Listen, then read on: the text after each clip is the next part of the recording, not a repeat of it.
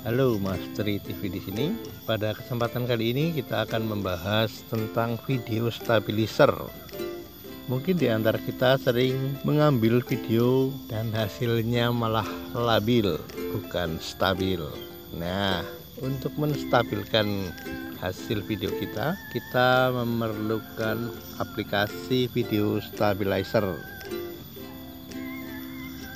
Aplikasi ini bisa Anda download di Play Store. Kita buka Play Store. Kita cari video stabilizer.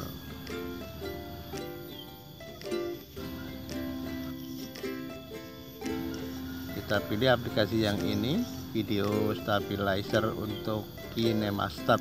Lalu seperti biasa diinstal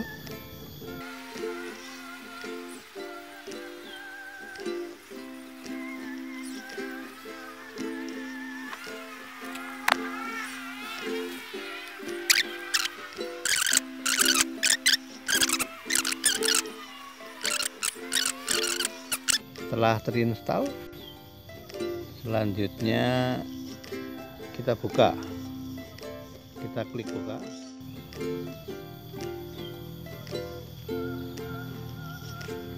Langsung agree. Izinkan.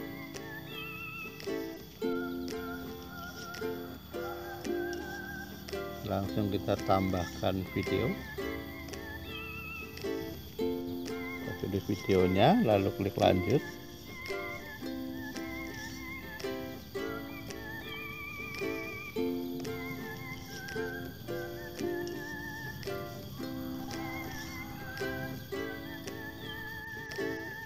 Lalu aplikasi akan menganalisa. Ini mungkin memerlukan waktu tergantung video yang sedang dianalisa tergantung panjang video atau lama video.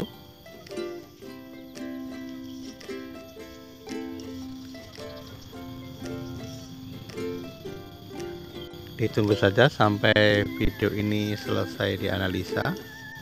Sambil menunggu bagi kalian yang belum subscribe silahkan klik tombol subscribe. Bila ada pertanyaan silahkan komen. Kalau suka silahkan like kalau tidak suka silahkan dislike. Dan bagikan video ini bila kalian merasa bahwa video ini sangat bermanfaat bagi orang lain. Ini sudah selesai menganalisa. Kita bisa lihat perbandingan antara yang sudah distabilkan atau yang belum. Ini bisa diatur kestabilannya semakin ke atas ini semakin stabil. Dan semakin ke bawah tentu akan semakin berkurang kestabilannya. Kita setting saja. Setelah dirasa cukup bisa langsung diekspor kita bisa pilih kualitasnya bisa rendah sedang atau tinggi. Semakin tinggi nanti filenya akan semakin besar. Kita pilih kualitas tinggi. Lalu bisa kemudian di download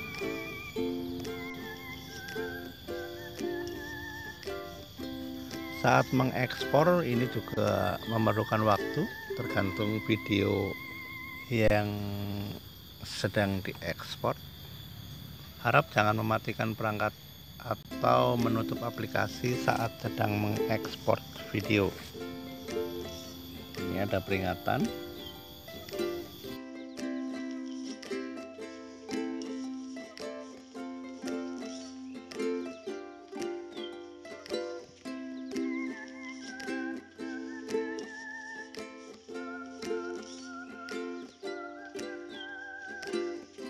ini dia hasilnya.